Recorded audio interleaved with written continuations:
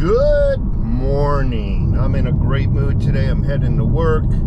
Just got off, uh, back to work from a uh, four day weekend.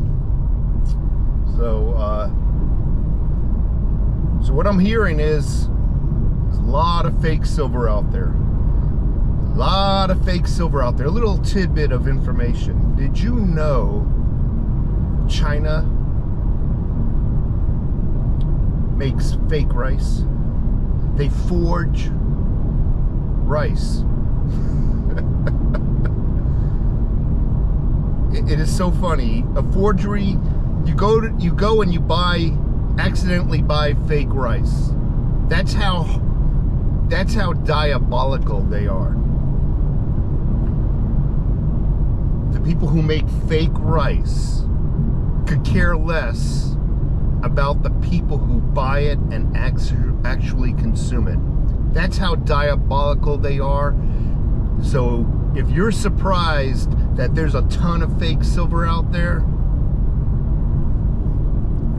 I don't know what to say.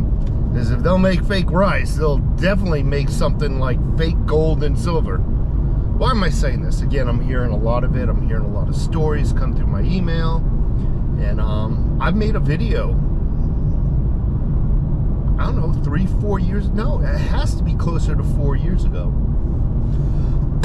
four or five, actually. Jesus. Again, if you hear me coughing, these big trees, they produce a flower, and this time of the year, year it just makes my throat itch and I cough. So, I made a video, and I think I'm just gonna redo, remake that video. So as the years progressed, the uh, the machinery, the technology has become cheaper for counterfeiters who counterfeit whatever they want to counterfeit to purchase. It's become so cheap now that that technology is easy to afford. Heck, they're buying real um, mint presses put the the blanks, the blank of uh, silver in there, and it presses. They're buying real stuff like that. The only thing they're missing is the plates. So the, the these coins are actually being minted by uh, by real machines. The only thing different is they're fake plates, and they put a, a, a slug in there. And a lot of times, what they'll do is they'll put the slug They'll put a micro fine coating of silver on there. What do they call that? Electroplating. And boom, looks just like a coin. Just looks just like a silver eagle. Silver eagles actually, I won't say were the very hardest coin to, to counterfeit, but they were up there. They were in like the top five or ten. Now they're like easy. So, folks, four or five years ago, I said, do not buy your silver off of eBay. And so many people said, well, you can go to the, uh, you can go to actually APMEX and uh, JM Bullion on, on, on eBay. And I said to them, why? Why not just go directly to them? Why do you have to go to a, a site like eBay just to go back to, to, to APMEX? Why? Why, why do it?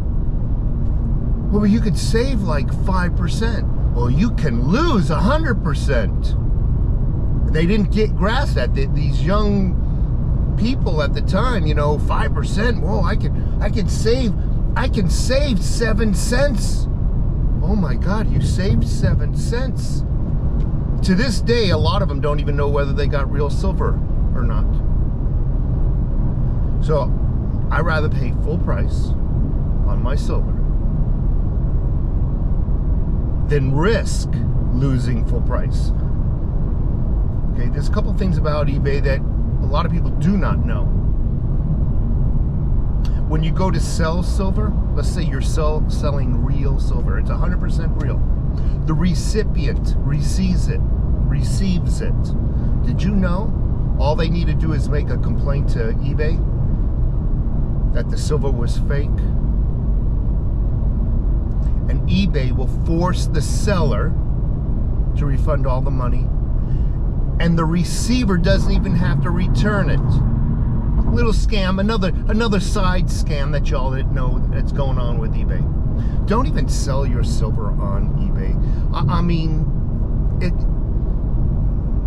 it's just not worth it. It's just not worth losing your money uh, even if it's a even if it's just like a five percent chance that you're gonna get ripped off one way or the other with with one scam or the, or another, just not worth it. Um, just slightly above eBay is Craigslist. Craigslist is not much better, but it is a little better because you can actually meet the person. You can pick a spot. I would recommend a, um, a public spot not some dark alleyway or uh, or desert. Pick a Starbucks. Pick a pick a place where everybody goes to. You can sit down. You can take a look at the silver that you're buying. You could sit down or grab the cash that you're selling for. Little step up, okay, in safety and step up and guarantee that you're going to either get your cash or you're going to get the silver that you're buying. Okay, silver or, or gold for that matter. Uh, again, I gotta emphasize that you need to do not invite these people to your home because now they know you're a silver stacker. Okay, you go and you meet them somewhere. Do not invite these people to your home. It's not like selling a piece of furniture. Okay.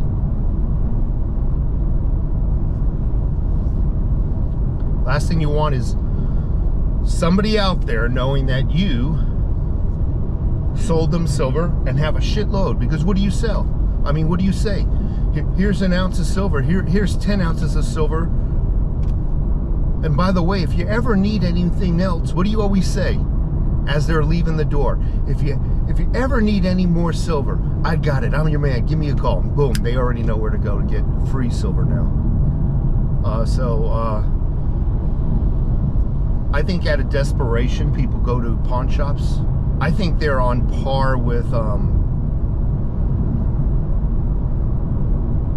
I won't say pawn shops intend to rip you off because they themselves have their own reputation, but they're they they're just ran, ran by people. Uh, sometimes a lot of the kids that are I won't say kids, they're young adults that are working there make mistakes. They'll accidentally buy a silver coin, they'll accidentally buy a gold coin, perhaps, that might be counterfeit. They didn't intend to, but now the owner is forced to eat the cost or pass that fake coin on to a, a desperate crack addict that comes into their shop. Now, I'm not calling you a crack addict. But I've seen this happen where they'll accidentally buy a fake silver coin, not realizing it, put it in their their case for sale, not realizing it's fake. So it could be a, it could be an honest mistake on their behalf, and sell that coin for a profit. But then you just bought a fake coin. There's all kinds of scenarios. Okay, um, the I'm gonna I'm gonna go out and say that it's very rare. It's on the rarer side. I don't know why I thought of steak when I said rare. Um, that you buy a fake coin. It is honestly they. A lot of them are knowledgeable. Every now and then, they one of the newer team members might do something silly like buy a fake coin, but it's very rare. However, where I don't like pawn shops, pawn shops cater to the desperate clientele and when they know someone's desperate, they take advantage as far as price. And they won't budge, they won't negotiate on that price. So you walk in, they think, although you're an upscale citizen, that you're some desperate druggie. And they're going to offer you well under spot for that silver coin. And I'm using silver coins uh, as an example, it could be a gold coin. and they're going to offer you well, I said well, that's not how I like my steaks, below spot. So that's the main reason I don't go to um, pawn shops. Is just that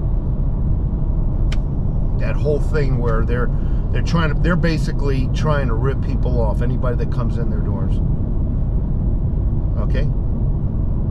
Whether you're selling, sometimes buying, it's just not worth the cost. It's just not worth it. It's not worth the haggle. Um, I think um, so. We've talked about the main three. I believe in going directly to the source. Top tier source would be directly to APMEX, directly to JM Bullion, directly to your favorite online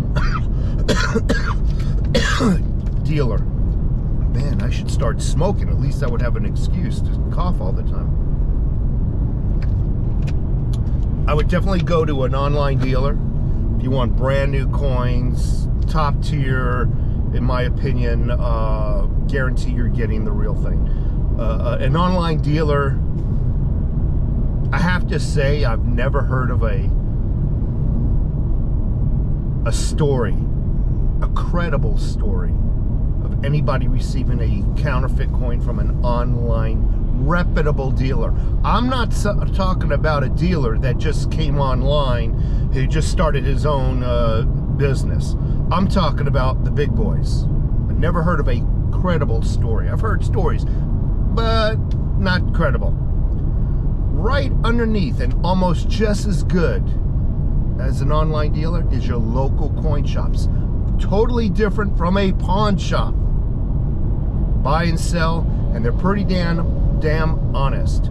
But there's a couple of tricks to the coin shop because they too want to make a profit. They too will uh, give you their lowest bid first, whether regardless of whether you're selling or buying. You have to tell them or show them that you're not dumb. And you got to do it in a way where you don't insult their manhood. You got to do it politely, but you got to show them that you you know what you're doing and that you're no fool. So a trick I do when I go into a new coin shop, that means a coin shop I've never been in before, I dressed okay. I don't dress like a loser or a bum. Obviously, I'm not going to put on a suit. But I dress clean. I go in there. I walk in. They come up to me on their side of the counter. How can we help you? And I, I pretend to look at my phone. Oh, I'm just looking at the uh, the latest spot price, Mr. Salesman. That's what I call them. No, I don't. I'm just looking at the uh, the the, uh, the spot price today. Immediately, just by saying that, you have not offended them, but you already told them you already know what the going price is. That you know what a spot price is. And if you know what a spot price is, then you know a little bit about silver and gold. They're less likely to even think about taking advantage of you. And always gotten great deals from uh, local coin shops. They're very knowledgeable in what they purchase.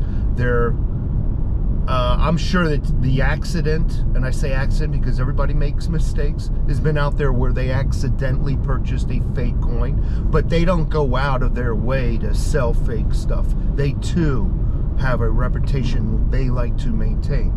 So if you're going to buy, just go directly to the stores. Don't go here just to get over here. Don't go to eBay just to go over to JM Bullion. Don't go to eBay just to get over to APMEX. Just go to APMEX directly. You don't know who or what you're buying from on eBay.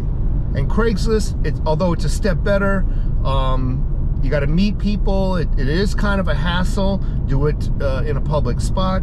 Uh, but you yourself unless you got the proper gear, don't know whether it's a counterfeit coin, right? like buying counterfeit rice. Anyway, folks, directly to the dealer or directly to your local coin shop. Take care.